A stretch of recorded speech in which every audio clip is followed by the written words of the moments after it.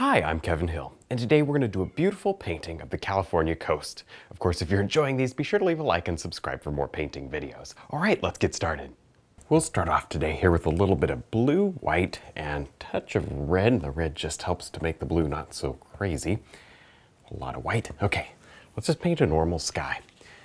And of course, you guys know how to do this. We got the standard masking tape. I've got a little pencil sketch instead of sketching you know, right now with the paint, which you could do, which normally I would. I just wanted to kind of get myself going a little quicker this morning. So I don't know, yesterday I just felt like putting a sketch on my canvas, which I did.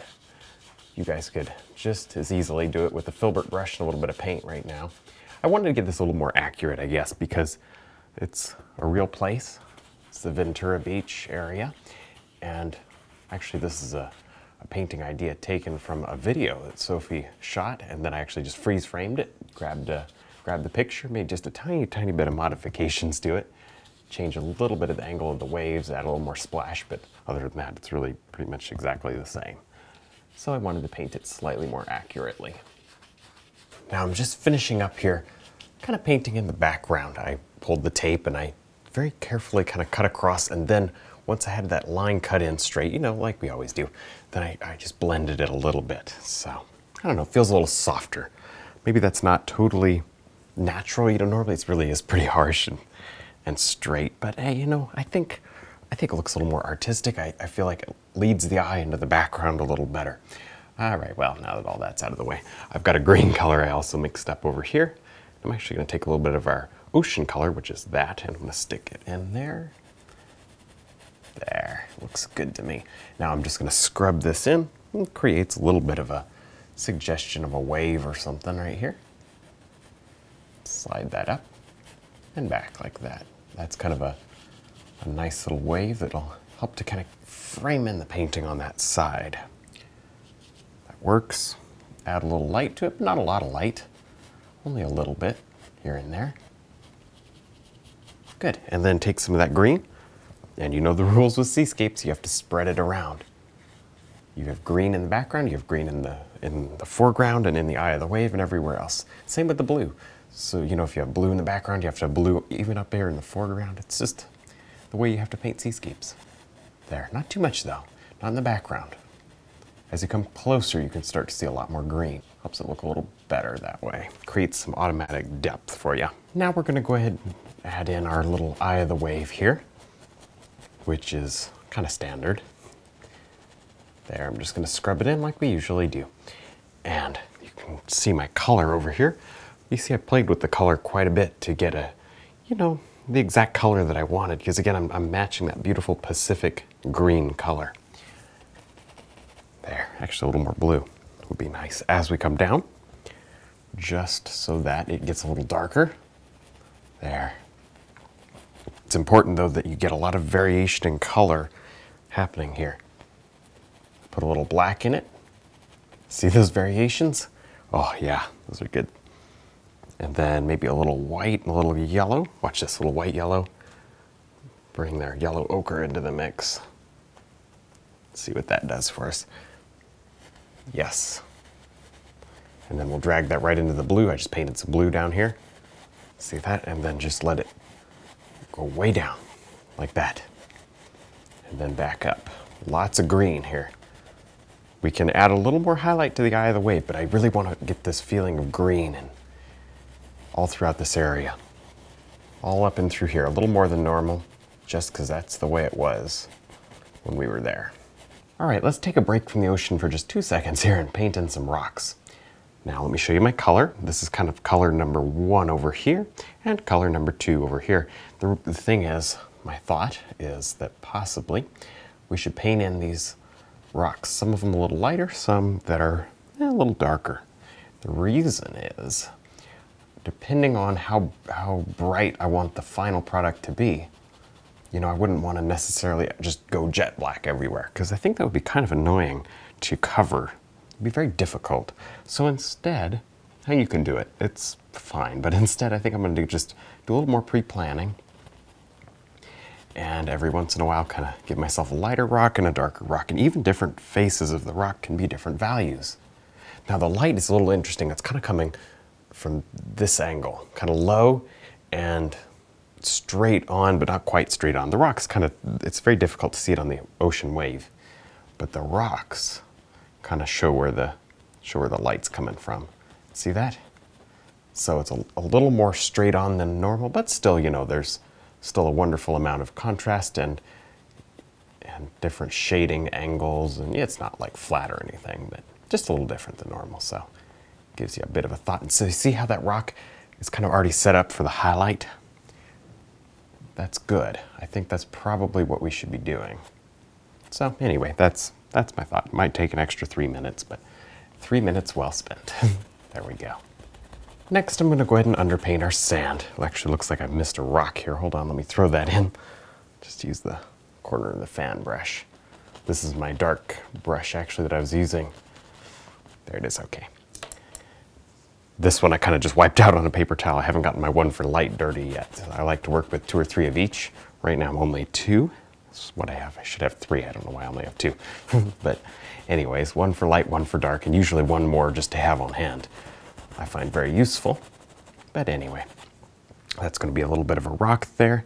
So I'm trying to underpaint the sand pretty quickly here, using variation of colors, all kind of in the tan, sandy colors, of course. Very, very simple. Take a little more of this. See, that's my pile of color right there. Maybe just, just throw a little bit more right in here.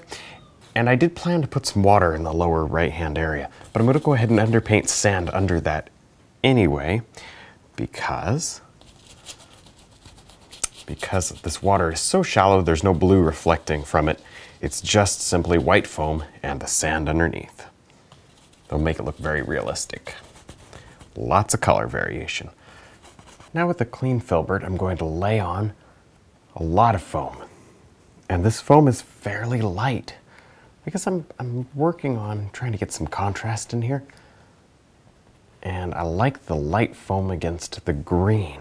It also helps with the lighting situation, although it's just a little different than normal.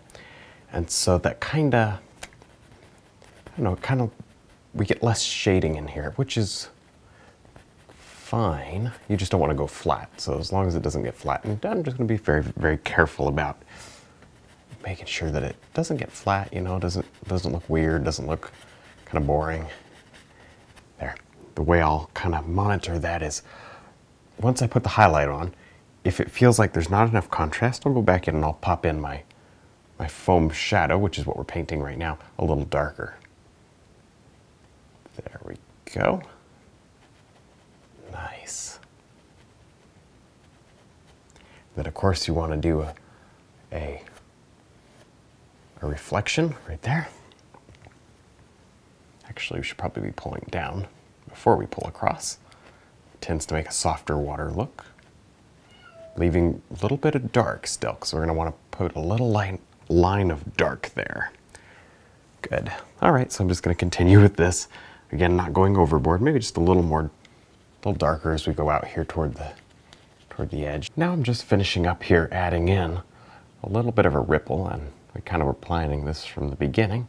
This is very easy, you just toss it right in. I also added a little highlight here. I felt like it just needs to be a little brighter.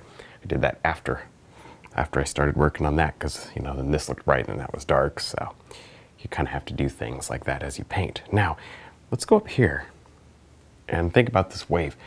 I kind of like the softness of it, so maybe we won't go too crazy, but I think now's about the right time to just get in here and I've got my little detail round and I'm just gonna softly highlight this thing.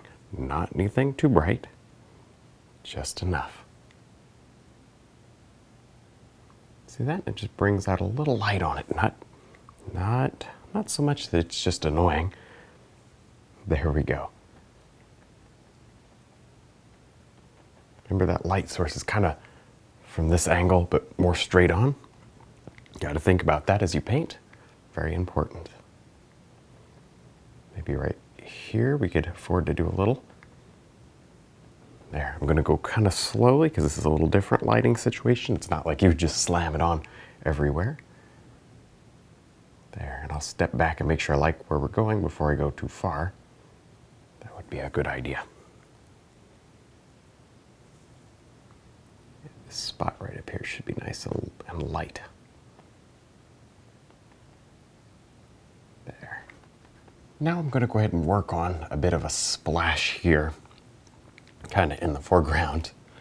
And this actually was not part of the original scene. It was a, a later wave that I'm sticking here because I think it would look good. So sometimes you can do that. You don't have to stick to an idea perfectly. You kind of change it up as you go along, which is what I do a lot. There. Now, obviously, the more paint you put on, the worse this looks. So you got to make sure that you put it on pretty sparingly. Now, I've went ahead and added another highlight here to the rocks, but I'm to add my third highlight. That is, if you, you kind of count the first highlight as maybe being, you know, when we blocked them in, how we kind of did the light and dark. So this would be kind of highlight number three. There. This is our little accent highlight that just makes them look wet because they're so reflective now. See that? You want it to be nice and nice and bright.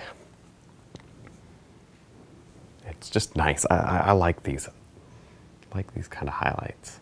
I just feel like they really add a little something to the painting. You don't want to do it everywhere, but you want to kind of concentrate the light more in the middle, picking out little areas that you think would catch light and add to the overall composition. You don't want to just look for areas that'll catch light, but maybe be distracting. You know, there's, here's an example. I wouldn't want to put this light over here in the corner because you go whoop, over to the corner. Instead, I want you to go right to the middle. Speaking of the middle, there's one. Not too much, and you kind of want to do these where you already have highlight. You wouldn't want to just plunk one in the shadow. That would be a little weird. There. There's a little. There's a little. Nice. And then over here, this whole rock, let's just outline that rock there. Good. This is the way you help to refine your painting, make it look a lot better. Actually, we could do kind of a different angle there. This rock here needed a little more shaping, so we can shape it with this as well as the brush gets dirty. See that drag down to kind of shape it and make it maybe look not quite so harsh. I don't know. I'll take a look at it from back there, but you guys have a better view than I do. When you're painting at home, stand back about six feet away in order to really see your painting without, you know, I mean, up close you can't see it very well, so without, without stepping back, it's gonna be a little hard to figure out what's going on. Now I'm gonna go ahead and add a bit of a reflected light with a little bit of blue and white. There, that's gonna just help to uh, make it look a little more realistic. You see, this is where it's being lit by the sky. There. Okay, that looks good. And so you don't do it to everyone, but you certainly do it to a lot of them, enough to make it feel just a little bit more part of the scene. You know the rules. If you put blue in the background, you put it in the foreground. There. And this is just just a really good way to make make the whole painting tie together with color. Plus, it's real.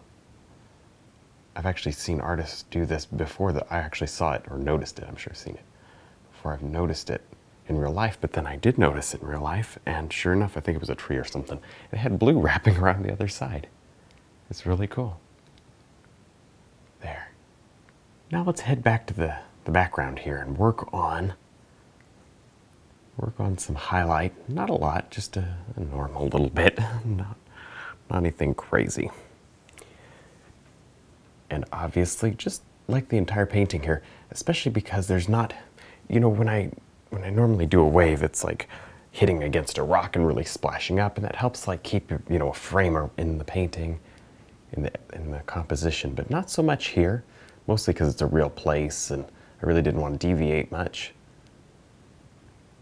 So, having said that, instead what we're going to do is just create a little bit of little focus in the middle with, with the light, you know, and I've talked about that a minute ago. So, it's just just more of the same stuff. Trying to keep the light in the middle, try to keep the viewer focused here. It's all good. there. A little bit right here. Try not to cover up too much of your green. You can always put your green back in. There, again, not too much out here, even though there's a little bit of a wave coming. Let's keep it a little darker. There, a little more blue maybe. Yeah, we should actually get a little more dark blue out here. There, that's pretty. And just work right back. This detail round brush is so soft that you can layer paint over here and really not have a lot of mixing, which is good. Now we'll finish up this painting like we do most all of our seascapes. I've got a little bit of thin down white on my fan brush, and I just flick it on with the palette knife. Just that simple. There, that looks good. So you just do this a little, step back, take a look, and you want to practice on your palette. Definitely want to practice on your palette to make sure you get the, the right size bubble. There. Some of it can kind of shoot up. That's kind of cool. You notice I actually lowered, remember we had that big mass, I actually lowered it down so that I would have room to do this. I did that a while ago. I don't remember if I told you or not. Probably didn't. there. Sometimes I, I just do things and I forget. Now there's a little bit right here. You want to be careful not to get this everywhere. And see, you don't really want it in the darks. So I'll erase those areas that are in the darks. You can do that very easily just by touching with any brush. Doesn't even have to paint on it. There, maybe a little touch right there. That looks good. See how that softens that area? Really makes it nice. This is how you kind of finish up a seascape. All right, well, I think we're done. I had a lot of fun. I hope you did too. Don't forget to check out our website, DVDs, and Brushline. Thanks for watching.